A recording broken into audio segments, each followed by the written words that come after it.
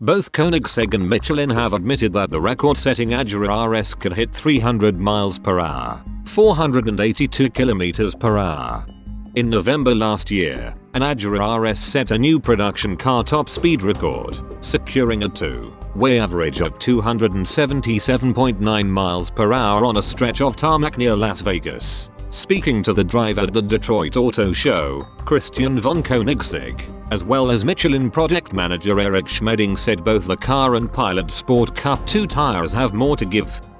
If someone wants to set that record, it's very doable. For the car we would need more RPM and a longer gear ratio, but we could hit 300 right now. It's scary and very dangerous to drive this fast, because there are a lot of uncontrollable aspects, such as animals, tumbleweeds, bumps, wind. It's doable, but it's not our objective, von Koenigsegg admitted.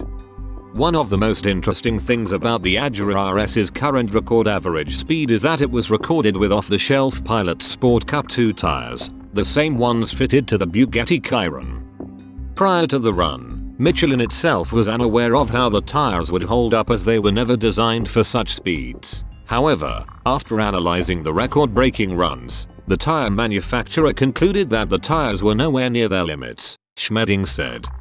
According to Schmedding, the potential of hitting 300 miles per hour with the tires depends on how quickly a car can get to those speeds.